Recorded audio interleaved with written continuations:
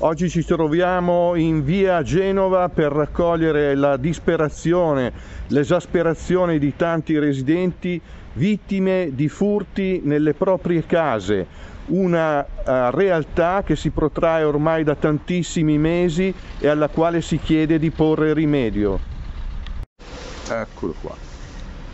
Ciao a tutti, benvenuti a questa nuova puntata del quarto d'ora accademico. Mi trovo in via Genova, qui alle mie spalle una vecchia conoscenza della politica pavese, Giovanni Galiena. Buongiorno Giovanni. Buongiorno. Allora, cosa succede qua in via Genova? Eh, è stato teatro negli ultimi mesi, nell'ultimo anno, di parecchi furti. Ci sono molti topi di appartamento che visitano queste abitazioni, queste residenze. Giovanni, cosa possiamo dire al riguardo? A riguardo è che via Genova da un paio d'anni è stata presa di mira dai, dai ladri d'appartamento. Noi sono venuti tre volte, la mia, io sono stato il primo, lui il secondo, Ancone Cani il terzo. Palazzo dei Pompieri, tre furti. Queste qui, queste villette le hanno visitate tutte.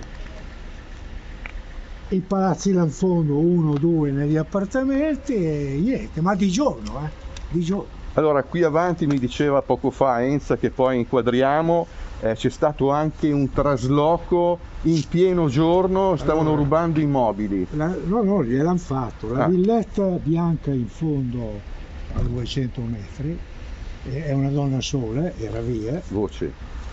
È una donna sola, si chiama Sale, è vedova, il professor Sale era il suo marito, era via e con il camion sono entrati in casa e hanno portato via pure i mobili, di giorno, di giorno.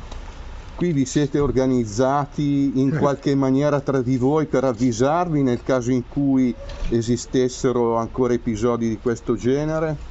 Ma noi siamo in contatto fra di noi, eh, se succede qualcosa uno sente suonare l'allarme, esce e quant'altro. Però questi probabilmente, come dire, curano bene e quando... C'è qualche basista? Sospettate esista qualche basista? Sì, sicuramente sì. Buongiorno, buongiorno. Buongiorno a voi, buongiorno. Lasciamo un attimo Giovanni, grazie Giovanni per il tuo contributo qui alle mie spalle. Ecco. Altri residenti che desiderano denunciare quello che accade. È, è vero comunque che il quotidiano locale ha già dato ampio spazio a quello che è accaduto in questi ultimi mesi. Qui abbiamo una presenza, una storia della pallacanestro pavese, Dante Anconetani. Ciao Dante, anche tu vittima. Vittima ultimamente, sì. Cos'è accaduto? Sono entrati dalla finestra di giorno, più o meno verso le 11 e mezza, perché c'è, un intervallo dove non c'era nessuno in casa dalle 10 e mezza alle 12 e sono entrato dalla finestra e c'era l'allarme, ma non ha suonato perché non hanno aperto la finestra e hanno spaccato un po' di roba. Un danno, magari. Un danno, ha rubato qualcosina. Qualcosina di importante, sì, di valore, ricordi, ricordi. anche affettivo. Sì.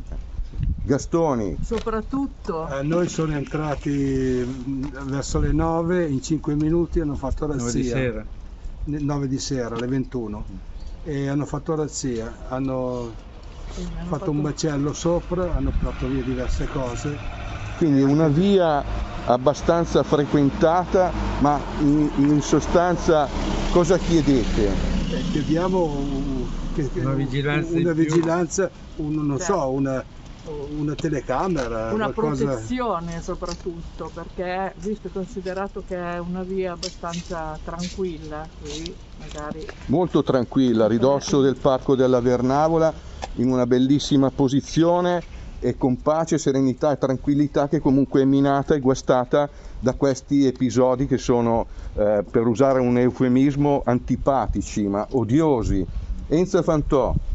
Io voglio dire che questa via apparentemente tranquilla eh, viene comunque visitata costantemente da questi, da questi, ladri. Noi non vediamo nulla, in apparenza qui non c'è nulla, io eh, giro col cane ma non trovo nulla, però vedo i miei vicini disperati e questo mi, mi dà molto dolore perché ho raccolto la disperazione della suocera di Anconetani, ho, ra- ho, ho, ho, raccolto la disperazione di Carlo perché portano via tutti i loro ricordi, tutti i loro affetti e tutta la loro fatica. Quindi noi chiediamo un controllo del vicinato che doveva essere messo in atto e chiediamo altresì delle telecamere per vigilare almeno, ehm, diciamo, non diciamo che poi tutto può essere risolto con queste due eh, cose, però quantomeno che qualcuno intervenga e ci dia una mano a risolvere questo problema. Così noi non possiamo andare avanti, siamo disperati eh, comprensione, chiaramente solidarietà nei vostri confronti.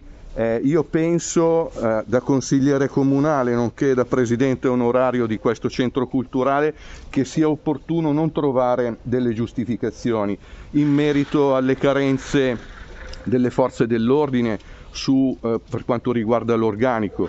È necessario ed opportuno, soprattutto in circostanze come queste, trovare delle soluzioni la politica, le istituzioni devono trovare delle soluzioni anche perché sono preposte appunto per fare ciò. Eh, una volta che esistono esigenze come queste che sono testimoniate anche da ciò che abbiamo sentito qui oggi, la politica deve muoversi, deve trovare delle soluzioni.